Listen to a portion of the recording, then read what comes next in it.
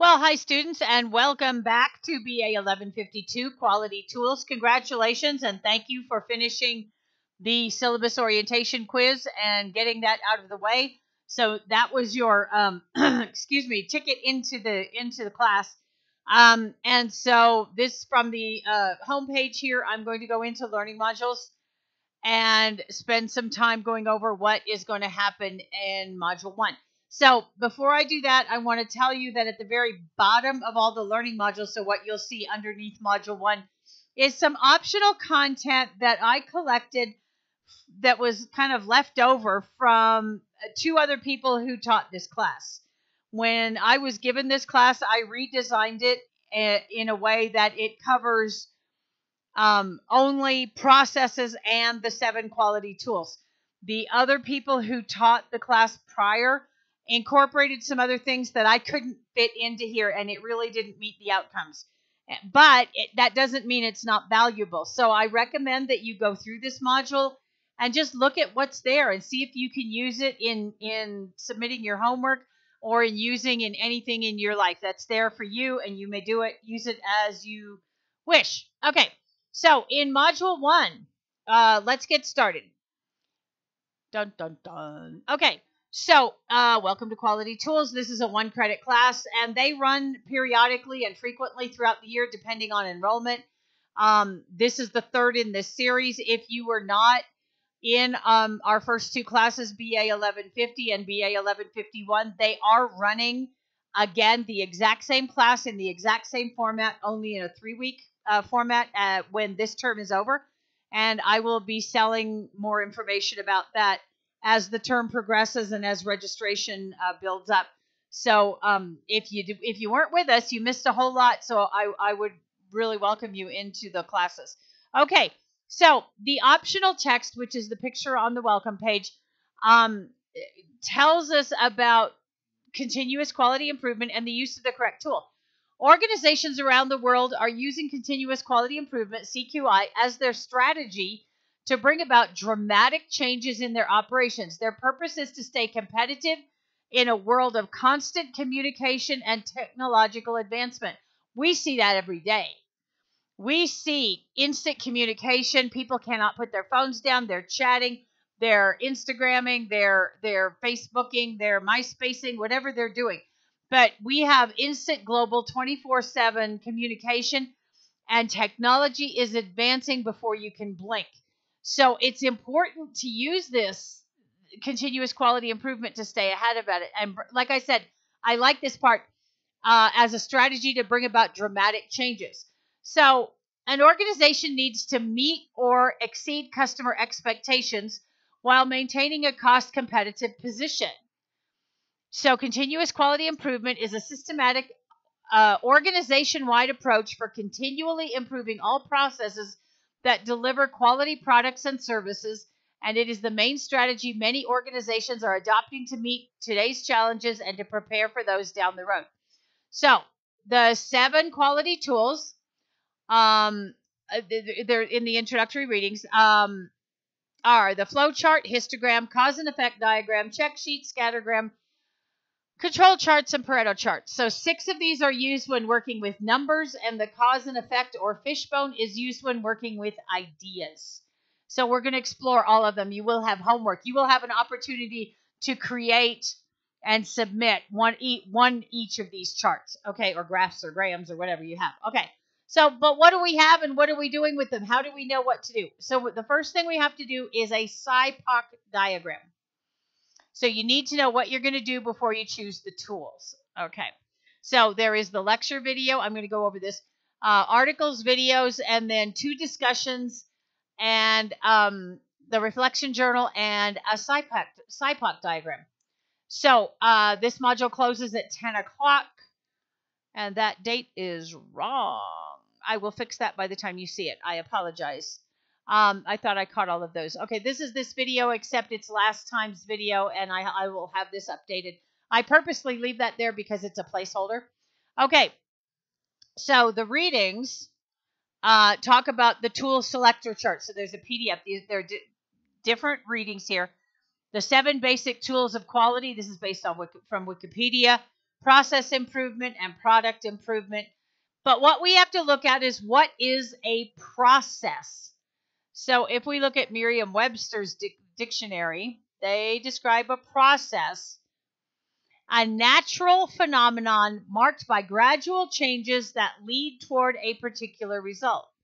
A continuing natural or biological activity. Okay, those are more like a natural phenomenon, a natural activity. Okay, so more like nature. Okay, but then we get down here and let's look at this a series of actions or operations conducing to an end, a continuous operation or treatment, especially in manufacture. Okay, and then the rest gets into legal. Okay, so a process. Hmm. And then why are processes important? Why is a process viewpoint important? And here are some methodologies. So, this, so there's some things I don't know if you've ever heard of Six Sigma. Um, very, very business-like, very, very quality, quality. So there's some information there for you to read. Okay. So this looks like a lot of videos, but it's not. I mean, it is, but it's not. Um, but there's a lot to tell you about what to do and what processes are, what lean management is, and how to do the SIPOC diagram. Okay, so what is a process? What are the seven points? So we, we have a lot to do in the intro here. It's like when you first start school, the first couple of days, there's so much to do to go over the syllabus and, and get acclimated and everything, and then it all kind of flows. So that's what we're doing here. So kind of spot check these. I certainly do not expect you to watch like this video is 36 minutes long. Spot check it. Okay, get an idea of what they're saying. Most of these are two minutes. Um, this one is nine minutes, but but these longer, longer videos, I do not expect you to watch 36 minutes. Just get an idea. We're not going to cover Six Sigma in here, but it's important that you know what it is. And then this is what is a SIPOC diagram. Okay. So, uh, what about class introduction? So it's important that we get to know each other since we're going to be working together. So, um, just tell us uh, why did you take this class? What are your expectations? What do you do on a daily basis? Functionally, what do you do functionally at work, home, or school? Okay, so if you say, well, I'm a student, that's not what you do functionally. I attend classes, I take notes, I do homework, I I, you know, submit assignments and things like that. And what do you hope to achieve after finishing this class on on quality tools? Um, many of you will not know what this is. I don't know what you know about quality tools. So what what kind of why did you take this class and what do you expect to get out of it? And what do you think you're going to have when you get to the end? All right. Now the journal is for me. Um, it's another introduction. It's kind of like a, a, a a teacher uh, office hour kind of thing.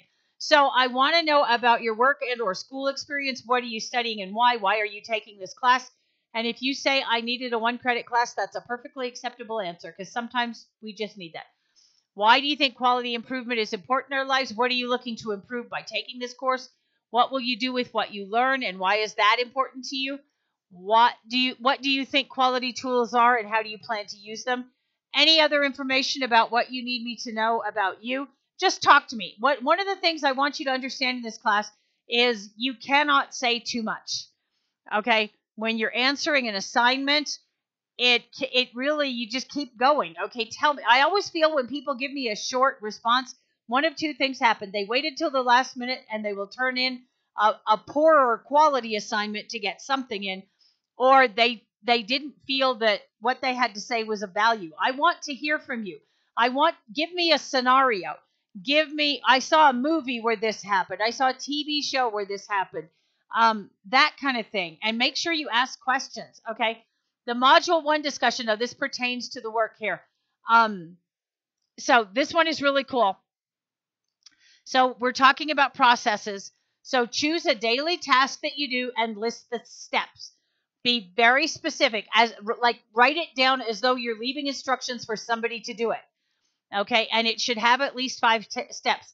I don't care if it's sorting laundry, making coffee, uh, filling the copier, changing the copier toner, answering the phone, something that has at least five steps. Changing a diaper, I'll buy it, okay?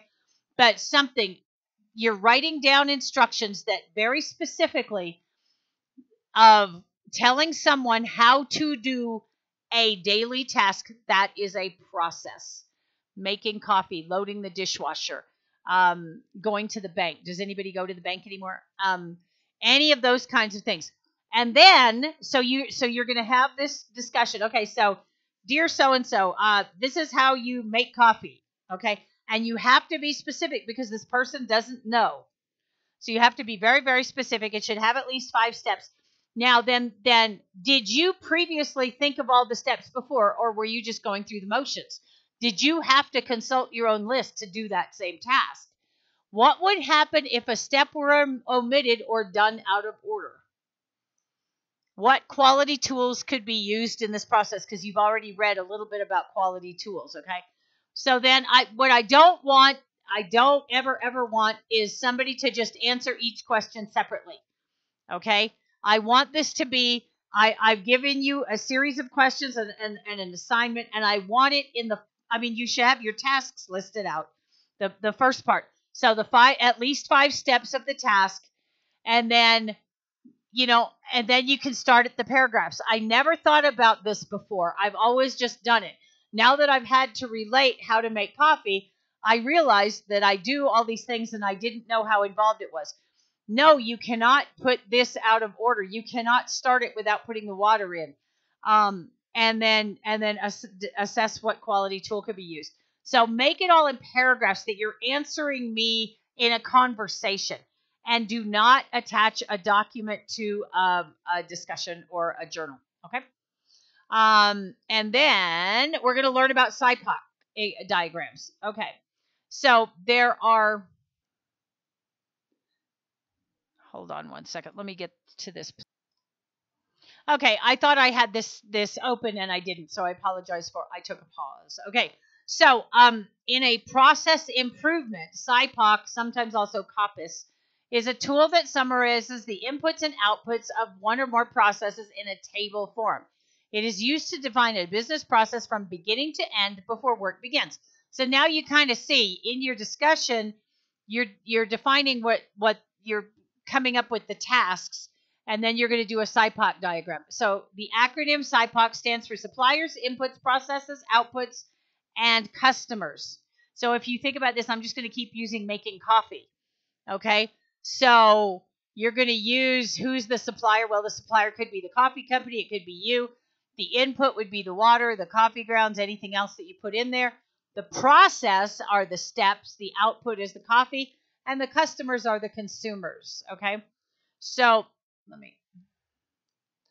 Okay. So in automobile repair, this is a SIPOC. So the supplier is the vehicle owner, the customer service rep.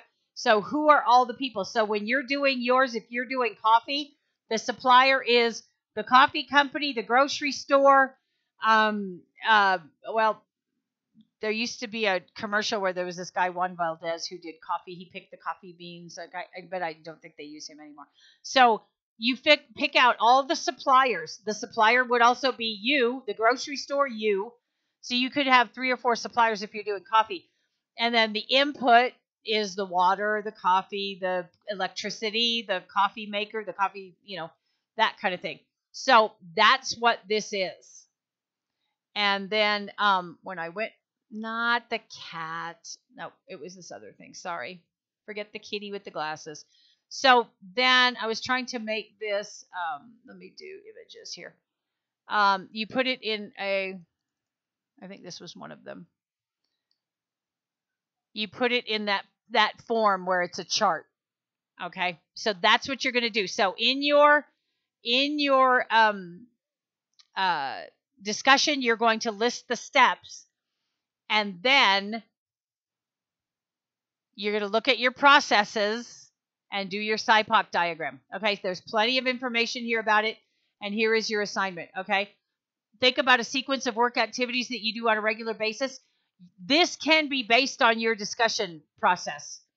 Okay, it can be exactly the same thing. So put a name to the process by identify, identifying it in a verb and noun form. So if you're talking about if your day-to-day work might involve all the steps of a process that pays vendors, then your name the name for your process might be pay vendors. If I were doing it for the one that I just said, it would be make coffee. So look at the process of make coffee or load dishwasher, sort laundry, bake cake, okay, anything like that, and then make all the list of those those steps. Now, the difference between these two is the one that you did for the discussion are just the the steps and the questions that I asked you here. This is much more specific. Um, you're going to make a list. You're going to have a discussion point. Uh, I'm sorry, a decision point. So this information will help you. You can do it in Excel. You can do it in Word tables. And um, uh, there's some information here, but here's a template. You can use Word. Um, there, the uh, one of the people who taught this actually later on as we go through, he will show you how to do some of these forms and charts and graphs and grams in Word, Excel, PowerPoint, going all the way back to almost 2007. So those are the things you have to do. It looks like a lot, and I know there's a lot of reading, but it's important that you understand what quality tools are and what processes are and how to define a process. So this module, because we have the two discussions, the journal and the assignment, is worth 190 points. So please don't miss anything. Um, and then, as you know from the um, navigation video, that you contact me by going through messages right here and let me know if you have any questions. My office hours will be Mondays and Tuesdays from 7:30 to 8, and I am happy to help you. Please don't make this harder than it is.